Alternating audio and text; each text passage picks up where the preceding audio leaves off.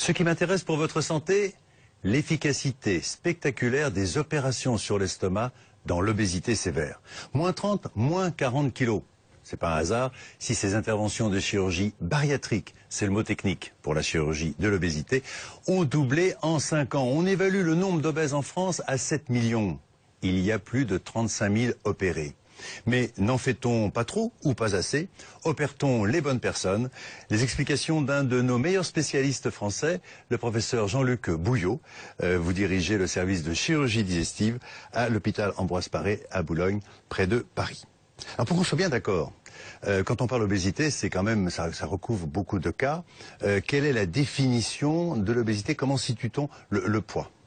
Ben, L'obésité, on parle là d'obésité sévère. L'obésité sévère, c'est l'obésité qui entraîne des complications. Et donc l'obésité, elle est définie par un index, l'index de masse corporelle. Ça correspond au poids que divise la taille au carré. Et on parle d'obésité lorsqu'on a un IMC, l'index supérieur à 30. Et euh, pour une femme, par exemple, de 1m65, ça correspond à 85 kg et d'obésité sévère, celle euh, qui s'adresse à, la chirurgie bariatrique, euh, lorsque c'est un IMC supérieur à 40. Pour une femme de 1m65, ça correspond à 110 kg. Un homme de 1m77, ça correspond à 125 kg. Voilà, donc vous avez déjà pu vous repérer. Donc 40, c'est le seuil pour s'intéresser éventuellement, éventuellement, à une chirurgie bariatrique. C'est quoi la chirurgie bariatrique? Qu'est-ce qu'on fait? Qu'est-ce qu'on propose? Alors la chirurgie bariatrique, elle a deux façons d'agir. Soit on diminue la, la l'importance de ce qu'on ingère par les repas, et donc c'est ce qu'on appelle la chirurgie restrictive, soit on diminue l'absorption des aliments qu'on absorbe, et c'est la chirurgie malabsorptive. Donc elle agit par les deux phénomènes. Alors on parle classiquement de l'anneau, c'est quelque chose qui est assez répandu. Euh, cet anneau gastrique, on l'utilise encore? Alors l'anneau gastrique, c'est le, le, mode de début de la chirurgie bariatrique dans beaucoup de pays, en France notamment, dans, au milieu des années 90. Et on a été jusqu'à poser 15 000 anneaux en France. Alors le chiffre a nettement diminué depuis. Et là, cet anneau, c'est l'intérêt, c'est que c'est une intervention peu grave, où on, on crée une petite poche à la partie supérieure de l'estomac, et c'est une intervention très restrictive. Alors ensuite, il y a la sleeve gastrectomie. Là, on enlève les deux tiers de l'estomac, carrément. Alors là, c'est une intervention entre guillemets euh, mutilante, puisqu'on retire, on, met à la poubelle les deux tiers de l'estomac. Donc il n'est pas question d'envisager un retour en arrière dans le futur. là. Donc euh, ça ne repousse pas. C'est pas comme la queue des lézards, hein, l'estomac. Et donc euh, l'intervention définitive, c'est la sleeve, c'est un terme anglo-saxon qui veut dire manche ou manchon. Et donc on transforme l'estomac, qui est un réservoir, en un tube par où passent les aliments. Et puis alors il y a le fameux bypass.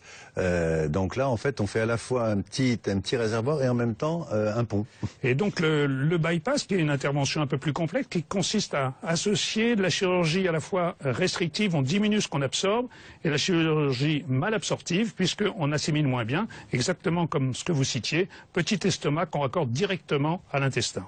Alors, une étude récente euh, dans le JAMA, une équipe de, Pittsburgh, en, Pennsylvanie, euh, qui vient de dire qu'en fait, c'était ce bypass qui était le plus efficace pour la perte de poids. Oui, ça c'est une notion connue depuis fort longtemps. C'est-à-dire que le bypass, c'est une intervention qui a 40 ans d'âge. Elle a été inventée dans les années, fin des années 60. Et donc on a une très grande expérience à travers le monde de ce bypass. Et ça reste l'intervention dite de référence. À un moment, on a dit que c'était même le gold standard. Mais c'est l'intervention de référence car la plus efficace sur la perte de poids. Et on sait vraiment ce qui se passe au bout de 20, 30 ans avec un bypass. Alors deux petits points encore pour, pour éclairer bien nos, amis. C'est, euh, on parle aujourd'hui du traitement du diabète par justement cette chirurgie bariatrique. Ah oui, ça a été une, conséquence euh, euh, tout à fait spectaculaire de ces interventions, c'est-à-dire que les patients qui sont diabétiques avec des, des, glycémies qui sont très élevées, dès les jours qui suivent l'intervention, que ce soit un bypass, mais c'est vrai également après la sleeve, ont un contrôle du diabète nettement amélioré, et nombreux sont les patients qui peuvent diminuer, voire arrêter les traitements antidiabétiques. Donc ça, c'est vraiment une chirurgie métabolique.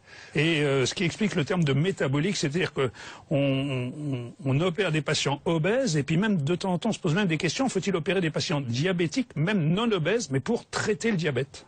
Alors, une dernière question qui est un petit peu provocatrice. Vous êtes chirurgien, mais on dit que la chirurgie, c'est en gros 50% du chemin. Et il y a tout le reste. C'est quoi tout le reste? Eh bien, l'obésité, c'est une maladie chronique. Donc, vous êtes obèse, vous aurez toujours tout le restant de vos jours, même après une intervention, à gérer le problème de la faim, de la satiété, des envies, des compulsions, des aliments. Et donc, on ne, peut pas guérir de l'obésité telle euh, actuellement. Ça se passe beaucoup dans la tête, l'obésité, et nous, on opère dans le ventre. Donc euh, c'est facile de comprendre qu'on ne peut pas traiter l'obésité. Et donc ce qui compte, c'est d'être pris en charge à la fois avant l'intervention et après, et être accompagné tout au long de ces années, et être entre guillemets coaché euh, par des équipes euh, qui sont habituées à ça, et pas seulement se faire opérer et puis être abandonné dans la nature. Donc la chirurgie, c'est important, mais une équipe multidisciplinaire, en fin de compte, avec différents spécialistes. oui, je crois que c'est un, gage de réussite et un gage de, de bonne euh, pratique que d'être pris en charge par une équipe euh, pluridisciplinaire qui euh, regroupe à la fois des, chirurgiens, certes, puisque c'est mon métier, mais également des médecins nutritionnistes, des psychologues, des entraîneurs sportifs, des diététiciennes et peut-être encore de nombreux autres spécialistes. Jean-Luc Bouillot, merci beaucoup. Euh, si vous souhaitez euh, réécouter cet entretien, nous vous donnons rendez-vous sur bfmbusiness.com. À la semaine prochaine et d'ici là, portez-vous bien.